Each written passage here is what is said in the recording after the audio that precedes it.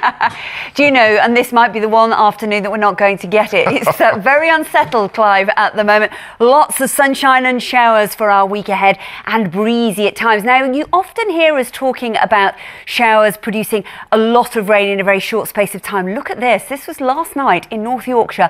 In an hour, they had 42 millimetres of rain. That's a substantial amount of their August rainfall totals, and it's only the 5th of August. And yes, there's more showers in the forecast all courtesy of low pressure at the moment. Very slow moving, coming in off at the Atlantic. And these frontal system spiralling around that low like a Catherine wheel, producing further showers. Now, the heaviest of the showers have been across the far north of Scotland with rumbles of thunder. They're continuing but easing away. We've got some showers across central Scotland and running down through uh, the eastern half of uh, England, but a little window of finer weather behind. And so for the rest of the afternoon, actually, it's not looking too bad across much of England and Wales. It should be largely dry and fine and pleasantly warm, highs of 25 degrees. Some of those showers in Scotland still with the odd rumble of thunder and fairly slow moving as well. They will continue through the night into Scotland and Northern Ireland, along with northwest England as well. Long clear spells elsewhere. A slightly fresher night as well, a little more comfortable for getting a good night's sleep, 11 to 15 degrees.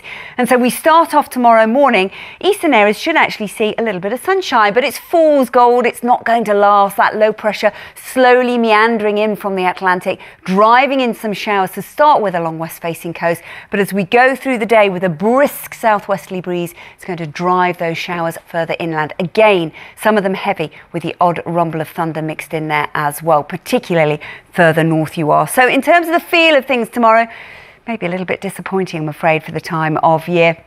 17 to 23 degrees the overall high. There's more showers to come as well on Wednesday. It looks as though the best of the drier weather, perhaps central and southern areas, sharper showers into northwest England, Northern Ireland and Scotland. And with a light northerly breeze, that's just going to make it feel cool as well when you factor in those showers. Here we're looking at just a maximum of around 16 to 19 degrees, highest values of 23. And then on Thursday we get this lovely ridge of high pressure building, albeit briefly, best day of the week before more wet and windy weather is set to return by the end of the week. Where has summer gone, Clive? Indeed. All right, Louise, thank you. Louise Lear there.